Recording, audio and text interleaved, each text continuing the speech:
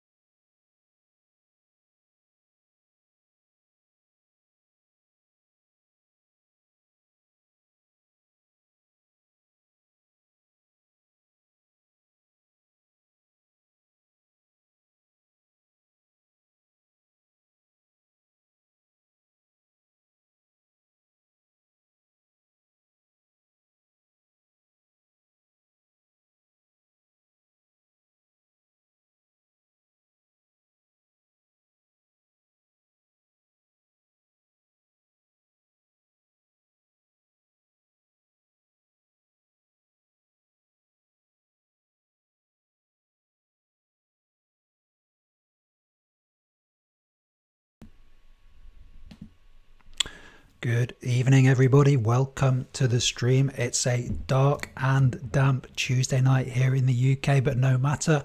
The Chess Skunkworks series must continue. Welcome to hashtag Chess Tuesday. Who have we got in the chat with us today? DC is with us. Just been talking with DC. He's saying he's figuring out how to compose data in something easy to create a dashboard from. Today sounds like you're doing kind of data cleansing exercise there, DC. Let us know how that's going. Jeff is with us as well. So welcome, Jeff. And I've got Jeff actually to say a particular thank you to. Let me know how the sound is, by the way. It doesn't sound quite right in my cans here, but let me know in the chat how the sound is. Got to say thank you to Jeff first, because Jeff, in the previous uh, Skunkworks, uh, Jeff pointed out a problem, which is um, I managed to delete a piece of code that was very much needed. and it's a piece of code that controlled the king moves it means our king now has, how can we say this? Some kind of gender confusion. We could say maybe the king now thinks he's a queen. And we can see this on the board. We hit the king there. The king has the queen's powers. So, this is a Tuesday night. We're not playing with any gender roles on a school night. So, the first thing we've got to do is isolate that mistake, find it in the code, and then try to restore the king to the king's proper movement pattern, which of course is a single cell in each direction. So thank you, Jeff. I know you're in the you're in the chat for pointing that one out. Let's get into the VBA editor, Alt F11 shortcut. And one thing I did do right when I was doing this wrong, so I managed to make a mistake in the right way, was that I retained the code. I retained the code Um, so I didn't delete it. I just commented it out, commented it out. Not sure how many syllables are in that phrase, but I just turned it into a comment. So you can see we've got an inverted comma here. So I'm going to take it out, put it back in. We can see the text is now green. So Excel's going to ignore that text, but we can retain it. We can retain it should we need to use it later. And in this case, it is useful for us. Now here it says range movement movement range limiter for knight. So that annotation is not accurate because this is the movement range limiter for the king. So I'm not sure how I got that wrong. Maybe I got confused between the K and the N. So in chess notation, generally the N uh, means knight, but knight of course has a K on, so it's a bit of a quirky thing in chess. And the king begins with a K, of course. Uh, let me know in the chat uh, if if you're tuning in, make sure you say hello. Got a few people maybe who haven't said hello in the chat yet. So we actually want to reactivate this part of this part of the code here. I'm just going to go ahead and delete the inverted comma and we can see the text is the code is reactivated there. We can tell by the coloring. So we've got the black and blue coloring that we typically associate with VBA code. So this should give us a one part of our limiter and this is the column limiter it looks like. So this is going to uh, limit the lateral movement of the king. Maybe we can test this now. Just going to reset the code. Uh, control s save the file and then hit the king again. And we can see uh, what is what does that remind you of? Must be must be a rocket or something we can see that we do have the lateral movement, the side to side movement is limited there. Oh dear, it's going to be one of those days, guys. One of those days. So the lateral movement is limited. Well, we need to limit the up and down movements as well. What are we going to do? Well, we could write out a new line of code, but we know this line of code is going to do a similar thing. So let's recycle the existing line of code. And then we're going to think, where are we going to put this? And here we can see the value of having properly structured code, or at least code that is reasonably well structured. I was going through this earlier, you know, it's not perfectly structured, it's not completely uh, consistent with the indentation. So this line of code is before the end of this embedded loop. So without getting stuck into the detail, we can work this out because we just need to go to the end of the next loop, the end of the containing loop. So I'm going to copy paste this line of code, Control C, and then just drop it in. So it's going to be just above where we close the other loop. Remember, we've got two loops working together here. One loop is controlling the columns, so moving across the columns, and one loop is moving across the rows. There we go, trying to make that, that indentation as consistent as possible. So we've got a similar, similar line of code, but it's not exactly the same we do need to make some changes. Who's in the chat? We've got Mayank in the chat. Mayank, welcome. Is it your first time in a Tuesday night hashtag Chess Tuesday stream, Mayank? You'll have to let me know, but fantastic to see you. So, the question always, Mayank, is um, what's the weather like? Where are you tuning in from? What's the weather like? Maybe you're tuning in from a sunnier part of the world than than the UK, which is pretty pretty depressing at this time of year. I've got to say, apart from the beautiful autumn colours, which are rather lovely. So we're going to change this. And earlier on, we were talking about call count. So now we're talking about row count. Because here we're counting through the rows. So I'm just going to change this.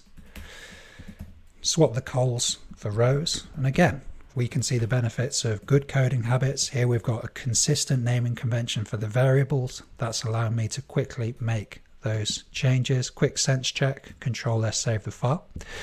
So now we're going to lose our rocket, rocket. We're going to lose our rocket shape and hopefully we'll get the proper king movements back. So I'm going to click the king twice and that does seem to have worked. So we seem to have got our limiter back.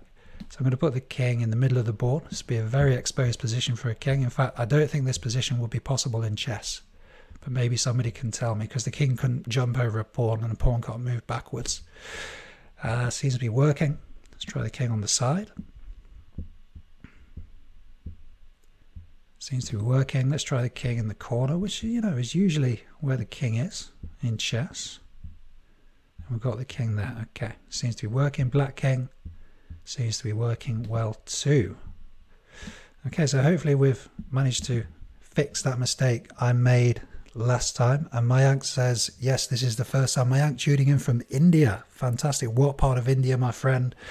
And India, wow, it's a place I'd love to go to. Never been. I consider myself fairly well travelled. I've been to lots of places in Asia, and I lived in in Asia for four years, uh, but I've never been to India. And Mayank, I love Indian food, or at least the Indian food I've eaten in the UK, which probably isn't very authentic, but I'd love to go out there one day and really sample some beautiful curries and all of the food you've got out there. I love all that stuff. Tony is here. Tony, welcome. Good to see you. And Tony tuning in from Cardiff. Cardiff raining as usual. I think, Tony, every stream we've had, even back in the summer, I think it was raining in Cardiff. So, Tony, are you following the rugby? Are you following the rugby? If you're over in Cardiff, you might be a Wales fan. And Wales must be in the quarterfinals. I think they've won all their games. So who are Wales playing in the quarterfinals, Tony? You'll, you'll have to tell me. Talking about the Rugby World Cup, of course. So what's next? Well, we were dealing with the pawn moves, and we're in this situation now.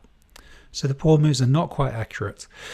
We're currently identifying these diagonal moves as legal moves, and of course, they wouldn't be a legal move. It would only be a legal move if there was a piece on this square here. So we're going to go back through the code and then try to eliminate these, these diagonal squares unless there's a piece on that square. So from the language I'm using, you know, the more accomplished coders out there will be translating the language I'm using. This is such an important skill. It's a translation translation skill. That's what I used to do in Asia, by the way. In Japan, used to be a translator. So if I'm talking about we want to do this unless, well, that's a condition. So we must be talking about conditional statements. So you know, a, a accomplished coder would would be translating that English, the language I'm using, or whatever language you're using, human language, into some coding concepts kind of live. That's an important skill to learn. You know, this morning I was in a client meeting and we've just finished a project. This project is in the uh, commodities uh, industry. So it's a company that um, helps people move commodities around the world. And um, it was a very interesting situation, and it's a situation I really would have struggled with previously. But I think my skills have got to a decent level now. And the client was saying, uh, "Yeah, I want this improvement, this improvement, this improvement, this improvement." We had a list of four or five things. We were discussing two things. Firstly, discussing are they in scope for the work we've agreed to date, which is quite sounds like quite a high pressure conversation. You know, we're trying to hand over the tool, and then we're the client is saying, well, what about this? Is this in scope? And you know, some of the stuff was in scope. You know, I just hadn't put it put it in, so I'm going to have to put that in, but it's not too much work. And then my customer was saying, okay, we want X, Y, and Z as well. How much is that going to cost? So talking about live translating translation, I'm taking what the client is saying to me and thinking, okay, the technique, I'm going to have to do that and calculating in my own head how difficult is it going to be, how complicated is it going to be, how much time is it going to take. But it's not just about time, of course, it's about how intensive is the coding as well. So trying to weigh up all these things in my mind, and then I gave him um, a quote uh, for how how expensive it would be. So, you know, I do want to say all the stuff I tell you you know, it's not just stuff I'm making up in my head, you know, it's stuff I've felt in my day to day work. Literally, I was feeling that today, that translation thing. So, if you can improve these skills, I'm absolutely sure it's going to create value for you. Uh, Tony says, We may not have won the Ashes, but at least we, we beat Australia in the Rugby World Cup. So, you talking about Wales, Tony. So, did Wales beat Australia? Um, the Rugby World Cup, I've been kind of dipping in and out of, I've got to say. I haven't watched all the games. Uh, but I will be watching England on Saturday, I believe. England playing Australia on Saturday. So we'll be watching that 100%. So let's get into the code and let's see if we can eliminate these diagonal moves. And where's the VBA editor? So again, we've got to look through the code. We're being helped here by the structuring devices, the indentation, and the comments. Then we've got to find a place for kind of eliminating cells here eliminating cells. Okay, so here we've got some logic to do with the knight. and this is eliminating kind of the in-between squares effectively um, to do with those knight moves. And you can go back a couple of streams if you want to know what I mean by that when we programmed in those knight moves. So here we're eliminating some squares. Well, that's that's what we want to do now. We want to eliminate some squares. So maybe this is the part of the code we should be focusing on. And maybe again, can we recycle? Can we recycle this code and playing close attention to the conditional statements around here. Are they all open and closed? I mean, this is a tricky one. So this could get you into trouble because this looks like it needs an end if somewhere. But actually, this is a one line conditional statement. It just has this underscore that's concatenating the text together. So Excel is reading that as one line. So we don't need that end if. Remember, one line conditional statement, we don't need the end if. Like, for example, this one here on this line, this is a one line conditional statement. So this is a one line conditional statement disguised as some kind of two, two, two line piece of code. So that's something for us to look out for. So I'm going to copy that down again, recycling a structure that we know is accurate. And then can we make some changes to, to this? Can, can we make some changes, changes to move us in the right direction? So what's our logic going to be? Well, here we're going to be talking about a pawn. So that's fairly easy. Change that to P for pawn. And then what squares are we talking about? Well, in relation to the piece, we're talking about the square that's uh, one up and one to the side, uh, one down, one to the side, one across, one to the side, and and so it's going to be one, one and one, uh, one in both direction, we could say. So how do we translate that? How do we translate that into logic? Well, if the absolute value of the row count and the absolute value of the column count equals two, then they must both be one, or it might be a two and a zero. But maybe we can eliminate that in a second. So let's just see if we can get this working. So if the absolute value of the row count variable plus the absolute value of the col count variable, let's say equals two, equals two, is that going to allow us to highlight those diagonal squares? Currently says color cell equals false. Let's get rid of that. Now, I just want proof that the code is getting to this point, that the conditional statement is working. Let's just say message box. And could we get the the cell uh, the cell address? How might we do that? Uh, here we go. Could we take this line of code? Control C and Control V and then dot address at the end. So we're kind of saying to Excel, okay, if you get into this conditional statement that we're working with here, then just pop up a message box and tell us which uh, square you're currently um, which square you're currently working with. Yeah. So I think the important thing here, learning wise, is just doing it step by step. So it's a tough bit of logic. It is for me anyway. I know in the chat, I think there's some more capable programmers than me, and you get people who are just logically very kind of fluent and they can do it quickly. You know, I'm not one of those people. I'm, I've got a very analog brain. I have to go through it step by step. That can be beneficial in computer programming. That means you can you can make solid programs that are easy to understand.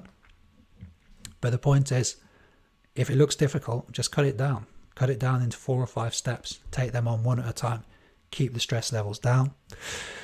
Uh, Mayank's saying in India there's a city named Nagpur. It's always sunny. In summers the temp 47. The temperature's 47 in Nagpur.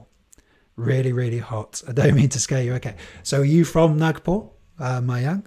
Is that where you're from? 47, I think, is extremely hot. I think me and Tony would be struggling. Uh, it's a bit warmer than Cardiff. Hey, Tony, 47. Uh, where's the hottest place I've been? I work in the Middle East work in the Middle East sometime, go to Oman, Bahrain, and and that's that's as hot as it gets. But in that part of the world, it's like they never go outside.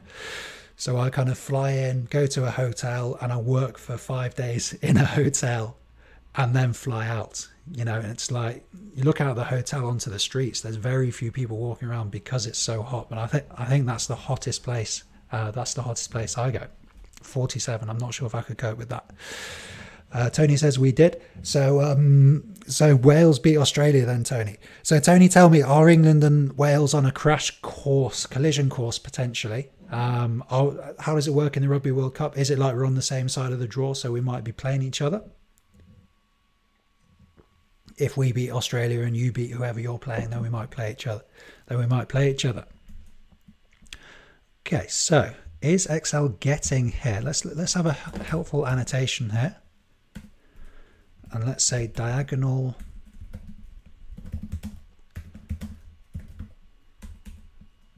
say diagonal pawn move here. So if it's a pawn and it's a di diagonal square, then just flash up a message to tell us the square that you're currently looking at. That's going to tell us that the code is at least getting here. Control let's save the file. Then hitting pawn. Okay, we've got G7. So I hit this one. G7. Okay, so G7, that's two squares ahead. So yeah, that makes sense though, because there the row variable is going to be 2 and the column variable is going to be 0. That equals 2. that equals 2, of course, which is why we're getting that flashing up. We're also getting F8. Now, we were expecting F8, so cell F8 is one of the, the, the, the diagonal cells. And then do we get H8 too? Do we get H8? And we've got H8. Okay, so two expected results, one unexpected result. So how do we eliminate that? Can we extend this logic to eliminate that where we've got this the, the two square move? We want to eliminate that. So can anybody help me in the chat? Ah, so Tony says different sides. Ah, so Tony, we're gonna meet in the final potentially, Tony. Well, that that will be good. That will be good. So that's in the final must be in two weeks' time. So maybe a week on Sunday. And Alam is in the chat, Mr. K. How are you, Mr. K? When are we getting together? When are we getting together to have some food? Let me know. Um, okay, so diagonal pawn move. So we need some logic in here. Okay. So and so if one of these variables equals zero, then we want to eliminate that because hmm, now this is where we have the multiple uh, these the, these and operators linking together all these conditions. It, I always find it uh, confusing, but well, we'll see. We'll see how we go. And col counts so does not equal zero, right? So the only possible scenario here is that is that yes, uh, row count equals one and col count equals one because if they don't equal zero, yeah. So we've eliminated that option where they equal zero. So hopefully that's going to eliminate this square two spaces ahead, although it will still be colored. I think it's still going to be colored, but when we have the message boxes flashing up, hopefully that message box won't flash up. Jeff saying col count and row count equals one. Yeah. Yeah, I think that's one way of doing it, Jeff. And maybe we'll have a look at that, Jeff, in a second. If we can get this working. So pawn, so we've got F8. That's accurate. And we've got H8, also accurate. Do we have anything else? No, so we've managed to eliminate that. Jeff, I'm going to try yours as well, just because I love people putting contributions in the chat.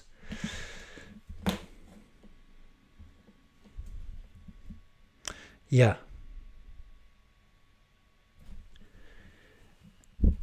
Yeah, we we could simplify this though, couldn't we? Right. Couldn't we just say this? Um, the absolute value of row count is 1 and the absolute value of col count is 1. I think, is this what you're saying, Jeff? And then we can get rid, rid of this, no? Isn't that just a lot simpler? Have I missed something? and there we go.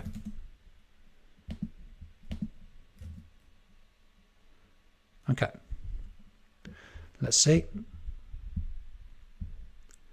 F8, yep, we're expecting F8. So that's cell F8, remember, that's not chessboard coordinate F8. That's cell F8. And then we've got H8. Okay, yeah, so that seems to work. So I think that's what you're getting at, Jeff. And clearly that's a more, that's a better solution. Yeah, it's more economical less code, so less potential for confusion there. Um, Mr. K says, checkmate. we haven't got to checkmate yet, Mr. K. Alan, we haven't got to checkmate yet. Maybe in, we're on episode 24. So if you come back in for episode 2024, then then we might be moving towards uh, checkmate there. Uh, DC says Jeff's got it, and DC suggesting the same idea. Jeff saying that's it. Yeah, yeah, brilliant, brilliant teamwork. Okay.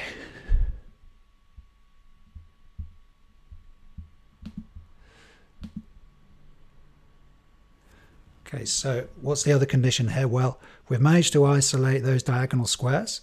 Is this working for the black pieces as well? Actually, let's let's check this.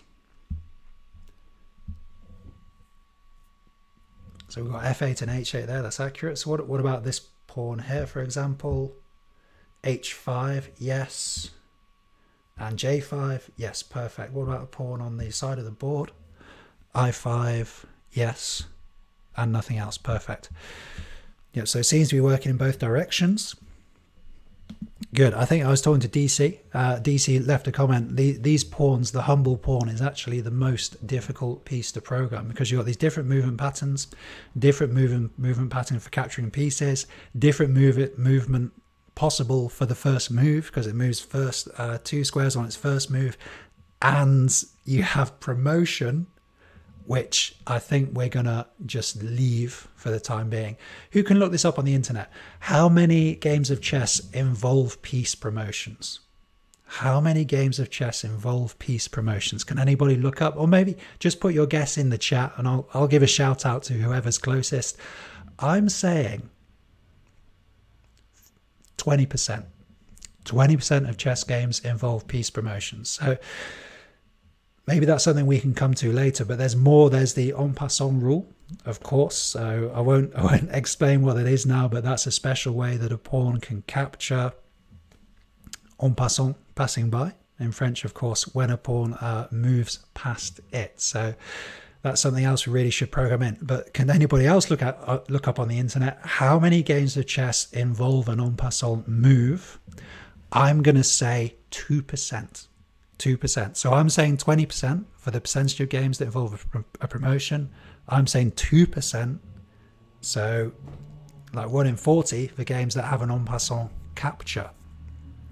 So Tony says 5%. So Tony's that 5% for promotions or 5% for en passant? So uh, let me know in the chat and I'll give a shout out to whoever's uh, closest. Okay, so it seems to be working pretty well. So the other thing, and probably the trickiest thing, is there has to be a piece on the square. There has to be a piece on the square for this for this uh, capture move to be valid. So here we've got cell i5, chess coordinate g6, and for that move to be valid, there has to be a piece.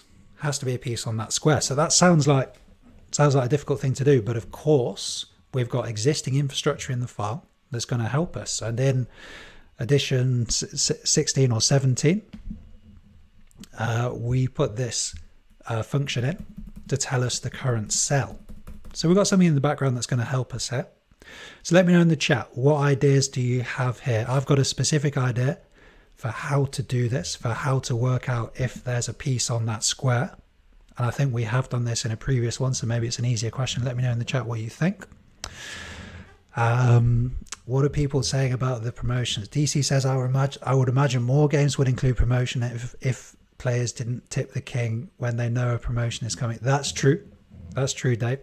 That's a very interesting question. You know, I don't want to go too far into chess stuff, but in computer games where they don't resign, where they play to the end of the to the conclusion of the game, there's probably many more uh, promotions. So that's a good point. Uh, Tony says 5% for promotions. Hmm, okay, I'm going to say more. I'm going to say more, Tony. More than 5%. I'm saying 20%. DC says then you have the rare game like the Four Queens game of Bobby Fischer's. I don't know that game. The Four Queens game. Well, I don't know many games, to be honest, in chess. I know some of my greatest games. There's not many. Um, so the Four Queens game, David, you'll have to link that to me. Maybe there's a YouTube video uh, that I can watch about that game. So my idea anyway is to use application.worksheet function. So remember application.worksheet function means we can call on a worksheet formula and which worksheet formula would help us with this. So again, it's a process of translation. So let's say in English first, uh, we need to find out if the coordinate of the square, the diagonal square, appears in this list here. If the address does appear in this list, then we want to do something. We want to specify that condition. So if we were just in the worksheet, not in the VB editor, what formula would allow us to do that? And if you watch my videos, it's a formula I use a lot, super useful. And it's one of the formulae that I'm always using in VBA and it can work in different ways. You can call it from the VBA editor, application.worksheet function, or you can have a helper cell, a helper cell in the spreadsheet, which is what I used to do earlier earlier in my career. Now I found it's more efficient to use application.worksheet function, but both appro approaches have pros and cons. Application.worksheet function being slightly more efficient, uh, but slightly more difficult to understand.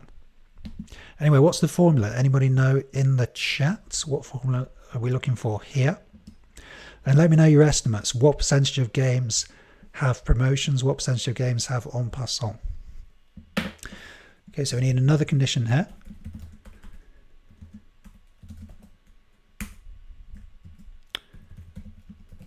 So application.worksheet function. Right, going to give away the answer here. It's going to say COUNTIF. Okay, and COUNTIF has two components. The first is the range we want to look at. So it's going to be engine G4 to G35. 32 rows, of course.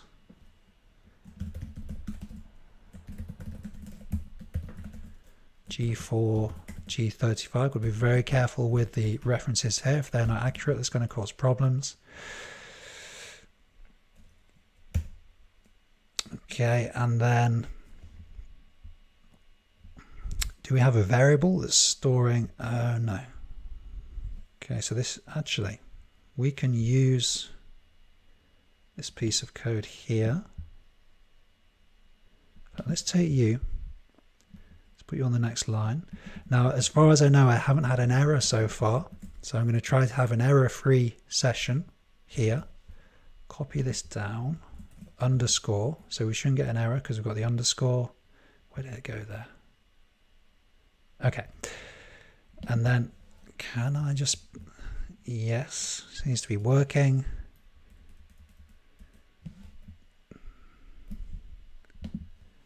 Okay, you see how it's getting confusing now. This is why it can it can be easier. It's often easier to break to break this kind of long condition down into multiple conditional statements, just so it's easier to digest, easier to manage.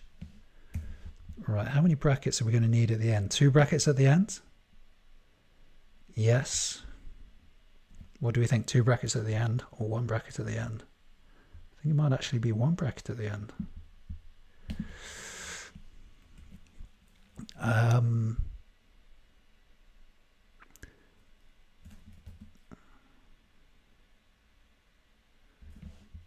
equals 1 is that?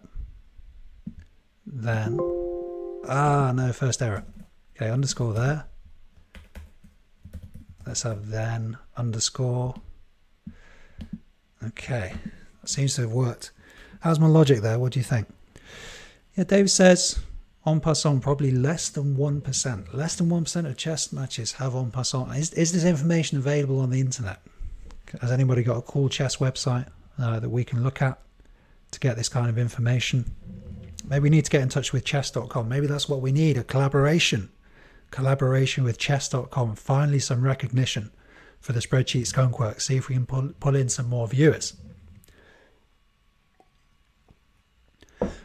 Okay. Yeah, if this is returning a value of 1, this application.worksheet function thing. Oh, is that, uh, yes. Okay. Okay. I want to check, I want to test this. Hmm. Okay.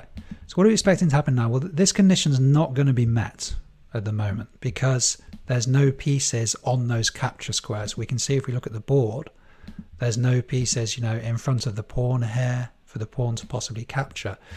So that part of this conditional statement where we've articulated that in code using this application.worksheet.countif, this condition is not going to be met because it's going to return a value of zero. It's going to return a value of zero because the cell address is going to be empty. It's not going to appear, the cell is empty, so the address is not going to appear in our little list here. So I think we're not going to get to the conditional statement, so we're not going to get this address coming up, I think.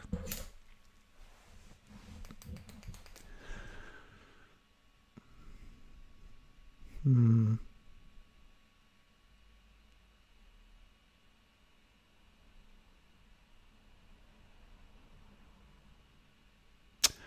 Okay. Okay. Struggling with struggling a bit with the logic here. Let's see. Let's see what happens. So hit the pawn. Okay, you see our message box isn't coming up. So we're still coloring the cells, but our message box isn't coming up. So yeah, we're expecting that. So what if we move a piece onto onto a capturable, if that's a word, onto a square where we could possibly capture, then we're expecting J8 to pop up now. And we do have J8. J8 has popped up there. Good. What if we put the pawn in this square? So now we're expecting H8 uh, to pop, pop up. We do get H8 popping up. That's good. What if we take another pawn and put it in this square? Then we should get two H8 popping up and then J8 popping up next. Yeah. Okay. Cool. Is our setup board going to macro going to work? Control S save the file. Reset. Yes, it does still work. Fantastic. Okay, so seems to be working.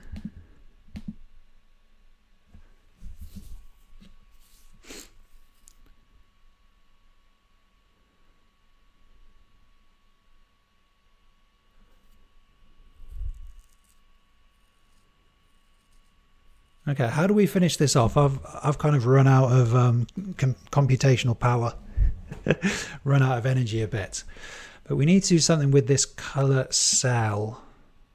Okay, color cell starts as false. We initialize color cell as false here. Okay, so we're looking for a reason to make it true.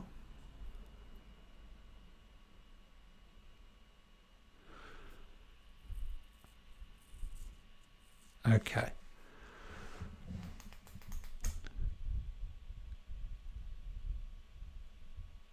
So is it as simple as saying color cell equals true here? Hmm.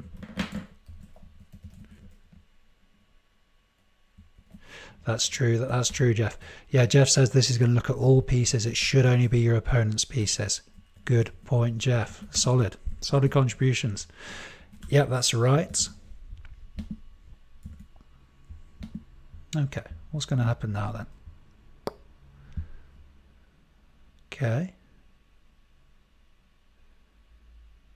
Right, yep. That's not quite what we want, is it? Okay.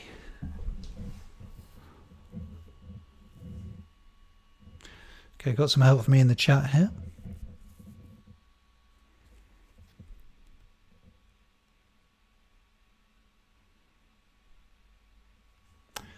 Okay, how are these pawn moves working anyway? Do we have pawn moves here? Yeah, we've got the pawn moves here. Okay, let's head over to the other side of the screen. Yeah, the pawn moves are articulated here.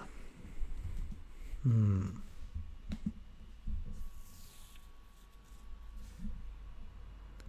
Just looking to understand the whole thing again. False. Okay, yeah, so if it's outside the board area, you exclude it. That makes sense.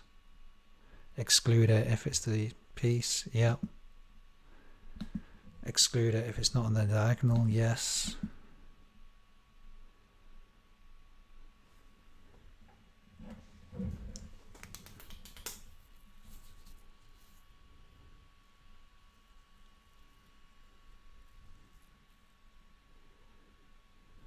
Color cell equals is false there. Hmm.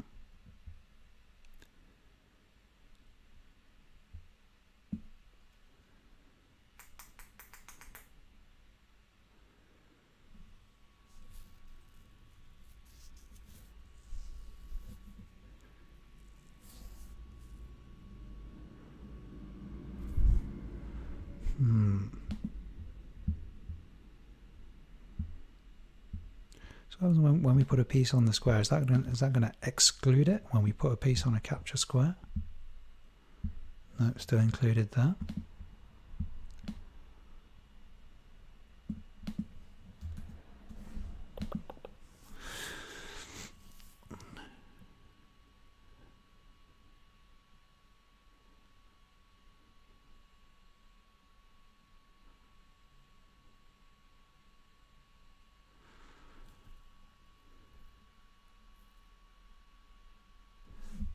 Okay, maybe we can do it like this. What about this? Change this to zero, change the logic. Okay. Okay, that seems to be accurate. So if we now put a piece on the square, is that going to give us the diagonal move? Okay, good. Piece over here. So give us the diagonal move. Okay, good. Then let's see if it works for the black piece as well. Let's put a pawn in the middle of the board here. So let's do nothing now. Okay, yep, possible move for the pawn. Let's put the pawn here. So we're expecting this diagonal capture move to be possible. It's possible, yep. Okay, this is looking better. So I just managed to tweak tweak the logic and get it working. Don't ask me to explain it. but we managed to get it working there. Okay, let's set up the board. Right, the final thing, final thing we'll look at today is can we hmm so Jeff is quite right. So we have this situation here. Then that's going to identify that, yeah, that capture move, which isn't a capture move, is being identified as a possible move there. So we need to find out what the color of the piece is. Can we do that easily? Is that easily done? Hmm. Yep.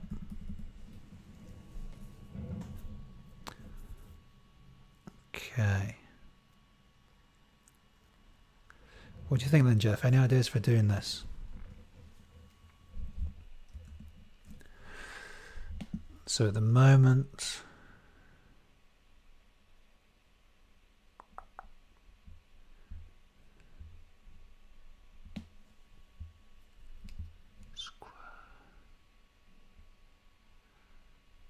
Okay, let's see if we can match this. If we can match it,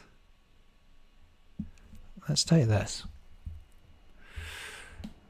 Let's see if we can match, let's see if we can match this. Okay. Functions, now we're going to do match. Let's change the order here.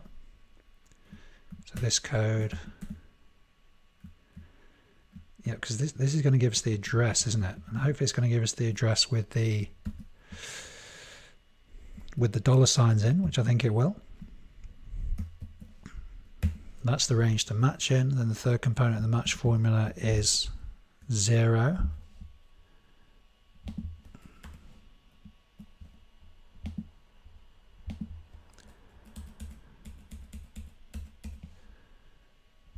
Right, let's see if we can get this working then.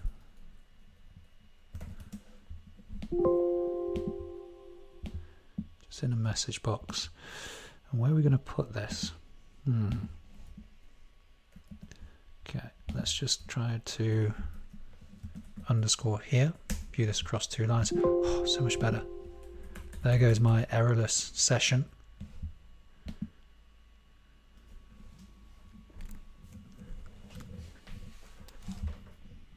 Okay, can we put this in here?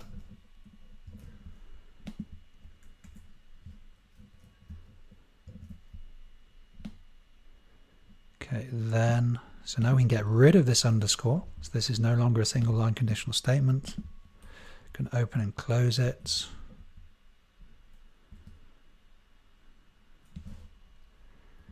Yep, and if at the end should bring our syntax into line.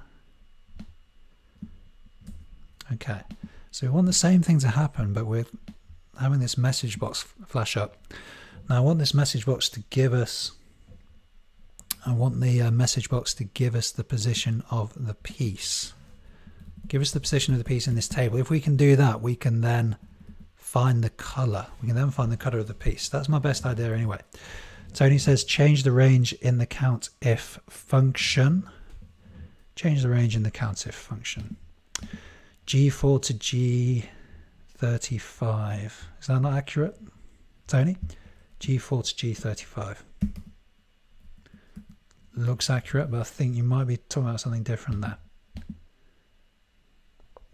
Okay, let's see what happens. Uh, let's let's take white pawn one, which must be this one. Put it there, where it can be captured by this pawn. Okay.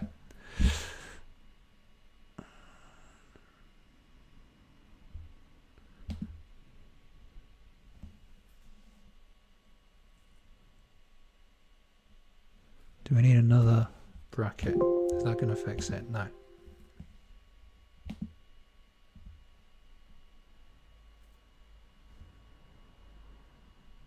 Ah, yeah, I totally see what you're saying, mate. I see what you're saying.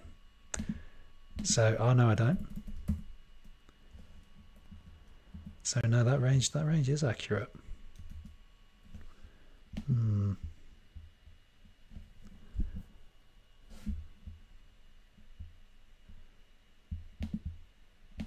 Okay, let's see if we can get back into break mode here. Debug. C5.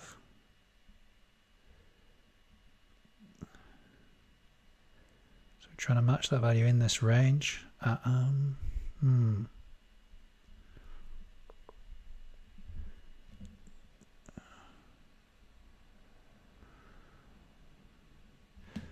G4 G19 for a red pawn, Tony say. Well, I want all the all of the pieces to be included. So these values only appear once in this whole range.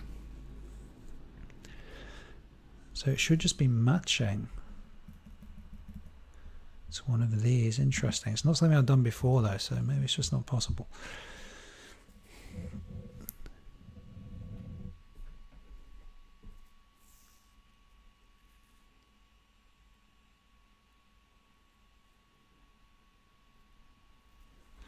Let's just check the components of the match formula here. Lookup value, lookup array, match type. Match type, zero is exact match, yep.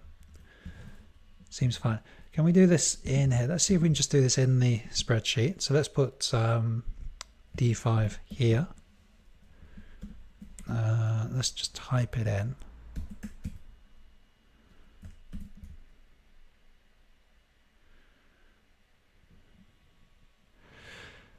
Match will bulk on any failure. DC, what do you mean by that, DC?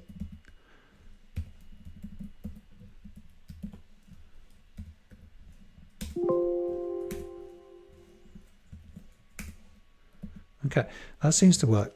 In the spreadsheet, it seems to work. Hmm. So why would it not work?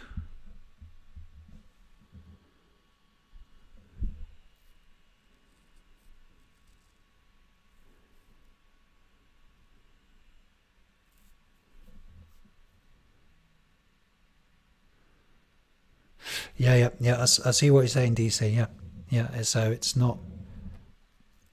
Yeah, it's never match is never going to return a value of zero, um, but it should return the value. Um,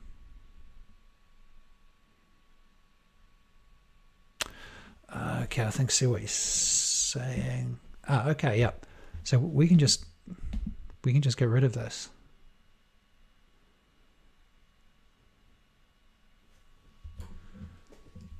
Yeah, we can just get rid of this, I think. Why was this here? I'm getting, getting a bit lost now. Why did we have that in there?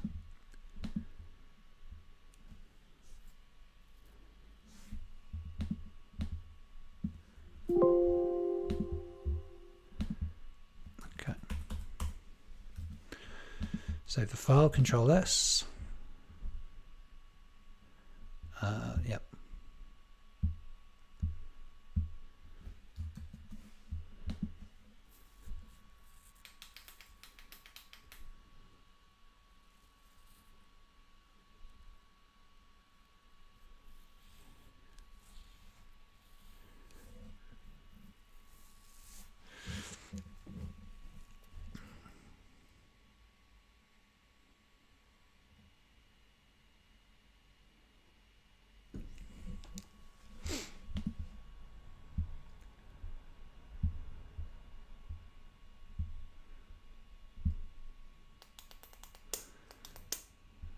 Okay, have I managed to mess this up then? then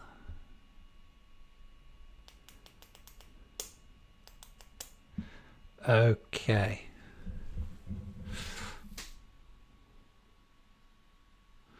Okay, yeah, because this, of course, is uh, this is eliminating the squares. This is not in, in, uh, including the squares. This is eliminating the squares.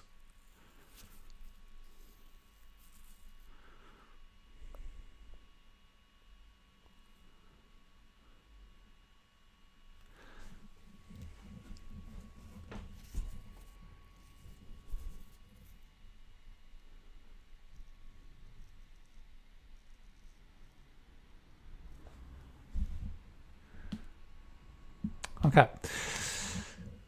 Right.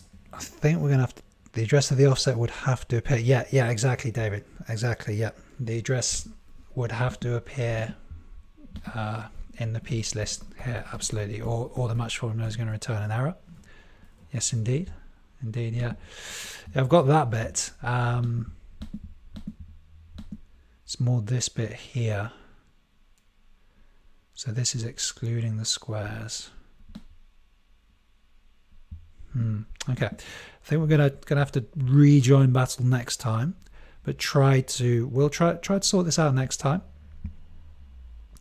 And uh, yeah, let me know if there's any any further questions in the chat. But uh, made bit of progress there. Got to see some got to see some live coding. And next week, yeah, we'll be looking at can, can we sort this out so that we so that we avoid the problem where yeah let's just comment comment this out a second.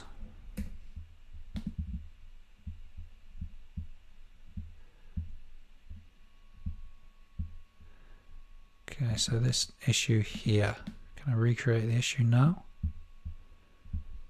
Yeah, we want to avoid this this this issue here, where it's like I feel very close, I feel very close to working it out, but but we've probably done enough for today and it's nice so, something nice to get get us stuck into uh, next week. So yeah there's no further questions in the chat.